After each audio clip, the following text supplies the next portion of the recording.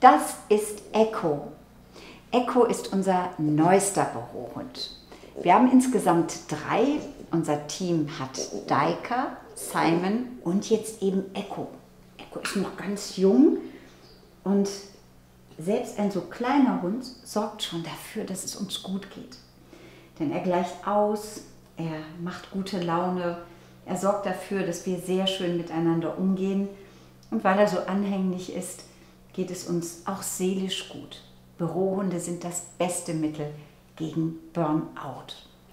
Und deshalb werben wir, mein Team und ich, am Tag des Bürohundes für einen solchen, der natürlich nicht nur ein Bürohund ist, sondern uns privat begleitet, aber eben auf dem Weg zur Arbeit auch mit dabei ist. Es ist vieles möglich, wenn wir es wirklich wollen. Ein Platz für ein Tier findet sich immer und es wird nie stören, sondern uns unterstützen.